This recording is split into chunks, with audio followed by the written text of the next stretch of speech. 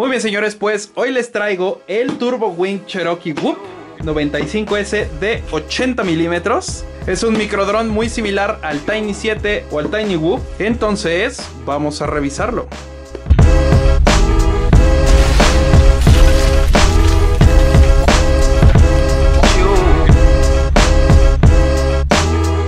Pues vamos a abrir nuestra caja. Viene eh, pues sin ninguna leyenda por la parte de afuera y es bastante liviana. Así que vamos a cortar por aquí, en donde por acá abajo. Abrimos nuestra caja. Y dentro, pues, viene nuestro Turbo Wing Cherokee. Viene por acá con eh, ya su cámara, su antena de transmisión de video. Aquí hay un botón, me parece. Ahorita vamos a ver para qué funciona. Viene ya con la batería. Esta es una batería de una celda, 400 mAh, 25 Cs de descarga, ¿ok? Me parece que es muy muy similar la construcción al Tiny 7. Este es de 80 milímetros, así que es 5 milímetros más grande que el Tiny 7. El Tiny 7 es de 75 milímetros y este, bueno, de aquí a acá, este tiene 5 milímetros más, así que es ligeramente, casi nada más grande que el Tiny 7, ¿ok? Esta es una versión que tiene más o menos el mismo precio, un poco más barato. Viene con receptor para DSM. Me parece que no hay opción para FR Sky. Sería cuestión de eh, desarmarlo, quitarle el receptor y ponerle un receptor para FR Sky, un micro o cualquier micro de según la marca que ustedes tengan. Pueden hacer ese cambio. No está integrado en la tarjeta, como pueden ver. Ahí está el receptor. Ese mismo botón que tiene ahí, que se puede ver ahí plateado, es el que vamos a utilizar para hacer bind con nuestro radio, ¿ok?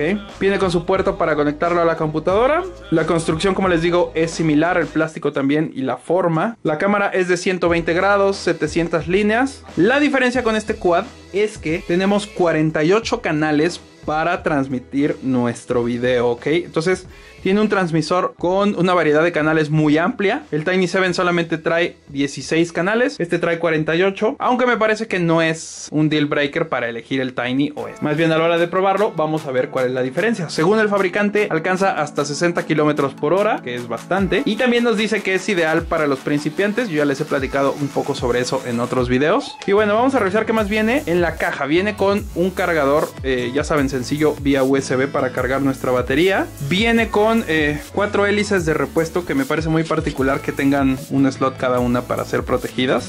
Un poco más incómodo, pero bueno.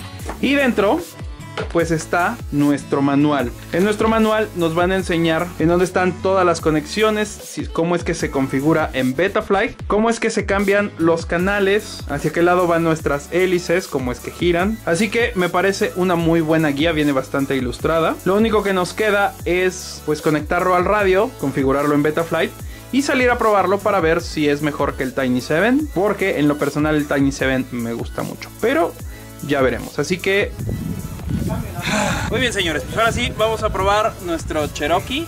Así que ya está enlazado, lo voy a probar con las gafas XK que les había mostrado. Entonces, vamos a dar una vuelta. Muy bien, entonces vamos a probar.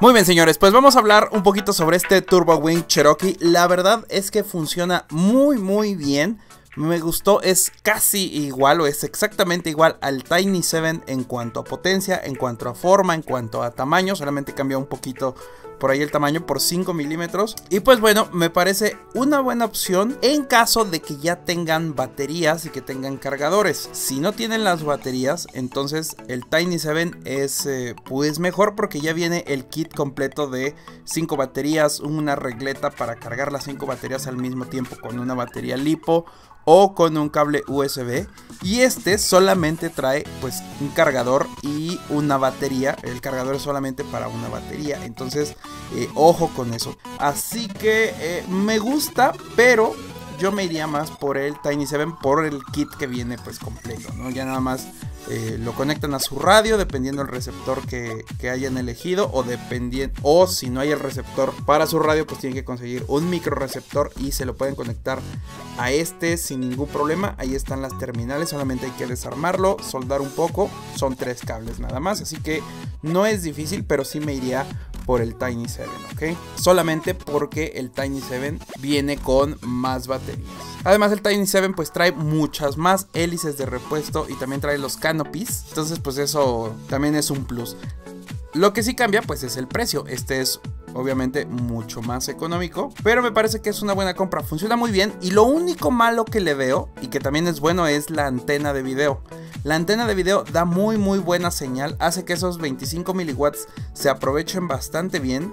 La desventaja es que la antena a veces se mete eh, pues en los ductos de los motores. Entonces hay que acomodarla muy bien o pegarla con cinta para que no se meta en los ductos. Porque por ahí en el video vieron que se cayó de repente, pues fue porque la antena se metió en uno de los ductos. Así que hay que tener mucho ojo con eso. Porque eh, pues la antena es muy buena, hace que tengamos un poquito de más rango. Pero pues se puede meter en los motores y eso va a dar problemas. Porque a la larga, como estamos deteniendo los motores, se van a dañar. ¿Ok? Así que mucho ojo con eso. Así que pues cuéntenme ahí abajo en los comentarios cuál les gusta más. Si les gusta más el Tiny 7 o les gusta más este. La verdad es que yo me iría más por el Tiny 7 de nuevo. Este viene con la tarjeta igual F3, se configura igual en Betaflight, es exactamente igual al Tiny 7 en ese aspecto. La verdad es que este es igual de bueno, solamente que eh, pues no trae tantas cosas como ya les platiqué. Así que cuéntenme allá abajo cuál les gusta más. Recuerden que si les gusta lo van a poder encontrar allá abajo en la descripción. Recuerden que prácticamente todo lo que subo tiene código de descuento, así que úsenlo y aprovechenlo para pues ahorrarse un dinero por ahí. Recuerden que esto es Drompedia y nos vemos en la próxima.